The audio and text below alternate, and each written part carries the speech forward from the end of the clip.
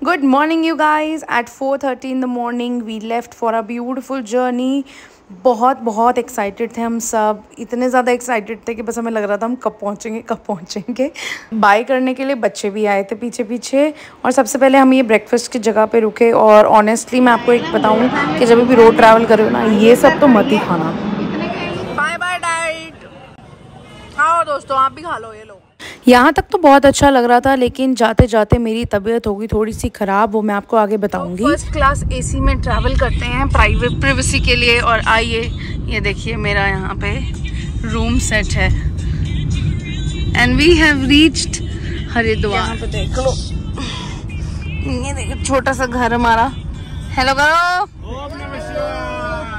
हर हर हर हर गंगे जय वो कितना खुश है हिंदुस्तान जिंदाबाद। लेवल भीड़। फ्लू देखो कैसे अपने अपने कपड़े निकालते हुए। मिले नहीं कच्चे? We are at Rishikesh oh sorry we are at Haridwar वो कह रहे हैं कि ऋषिकेश में ही कर लेते हैं। सो so, इस दिन बड़ सावित्री का व्रत था तो काफ़ी लोग जो हैं गंगा स्नान के लिए आए थे। बहुत ज़्यादा भीड़ थी।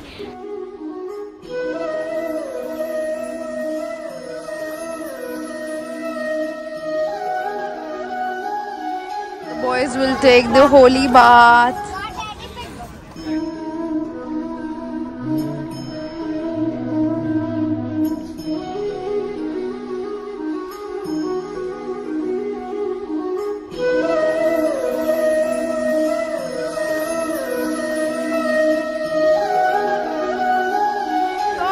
Haridwar में गंगा स्नान हो गए हैं। अब अपने ड्राइवर से पूछते हैं हाँ जी। कि नेक्स्ट स्टॉपेज कहाँ है? नेक्स्ट स्टॉपेज सीधा देव प्रयाग होगा जहाँ पे अलकनंदा और भगीरथी का मिलन होता है। और बहुत बढ़िया सीन है।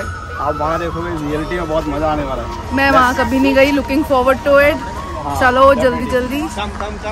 बहुत गर्मी है पर इतनी भी गर्मी नहीं है कि सहन नहीं कर पाएँगे। ठीक है मतलब सब कुछ बहुत बढ़िया से हो गया। ये यहाँ पे हमारे थे हर की पौड़ी तो बहुत भीड़ थी। ये वाली इसका कुछ स्पेशल नाम है? ये सदानंद घाट है। Sadanand Ghat. World famous bloggers आपको पता है यहाँ पे इतनी लाइन लाइन लग गई थी मिलने के लिए बट हमने उनको स्ट्रिक्टली बोला है कि आज मैं अवेलेबल नहीं हूँ। For the meet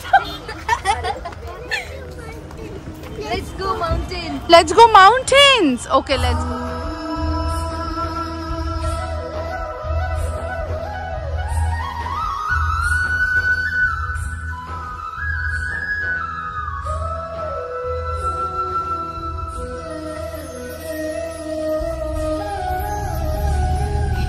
ये रास्ता है।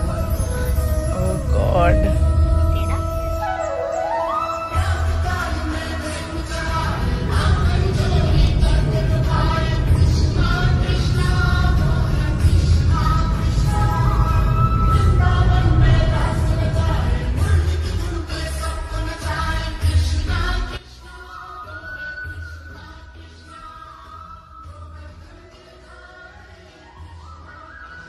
क्या बोल रहे थे वो लोग नहीं करता ये जो गंगा है ना ये वाली हाँ। ये ये इधर से जो गंगे आ रही है मटमैली हाँ। ये भगीरथ है और अच्छा। इस तरफ़ से जो आ रही है इस तरफ़ से दूसरी हाँ वो तरफ़ दिख रहा है वो रहा बिल्कुल प्योर बिल्कुल ब्लू वाटर है एंड दैट रहा। बेसिकली तो दोनों आकर के फ़र्स्ट प्रयाग है जहाँ पे दो नदियों का संगम पर एक्चुअली ऐसे खाई होती नहीं है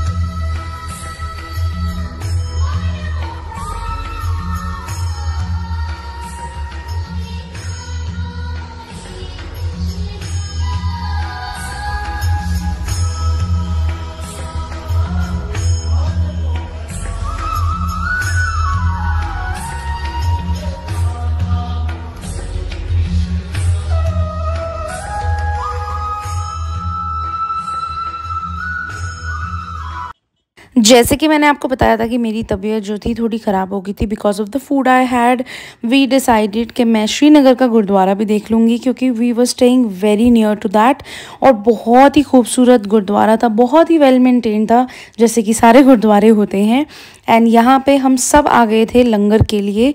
This was around three o'clock in the afternoon Girish was not well and नॉनिद was also very tired so we decided मैंने गुरुद्वारा के जो पार्टी साहब थे, उनको बोला कि कि आप मुझे थोड़ा सा रोटी और थोड़ी सी दाल जो है वो मुझे पैक कर दीजिए। और उन्होंने करी भी क्योंकि हम किसी को मना नहीं करते। एंड इसके बाद चाय ज़रूर वहाँ की पीना। उन्होंने मुझे बोला कि चाय ज़रूर पी के जायो। तो बहुत ही बहुत ही बहुत ही स्वाद चाय सी। और इन्होंने जीरा पाया हुआ सी which is which was very you know new to me pick up the cake for Rudra and मैं आपको एक चीज़ दिखा रही हूँ बड़ा हार्ट और यहाँ पे था ये रम बॉल जिसको मैंने बोल दिया। बॉल। लोकल मार्केट घूमते हुए we are now going to pick the cake यही है ना सूर्या बेक चलो काफ़ी भीड़ है मतलब प्रॉपर मार्केट ओ ले ले ओ ले ले कितना सुंदर। बिस्किट है। खाएगा? डॉग बिस्किट मैं कहीं भी जाती हूँ मेरे साथ हमेशा एनिमल का कुछ ना कुछ फ़ूड होता है। आप कहीं भी जाओ हमेशा किसी को खाना ज़रूर दो। एंड हमारे पास है तो हम दे पा रहे हैं। This is the way we thank God ये देखो जी भाइयों का प्यार। ये देखो। तो काफ़ी रात हो गई थी हम किसी लोकल रेस्टोरेंट में गए। रुद्र का बर्थडे मनाने जिसकी एक छोटी सी क्लिप मैं ऐड करी girlfriend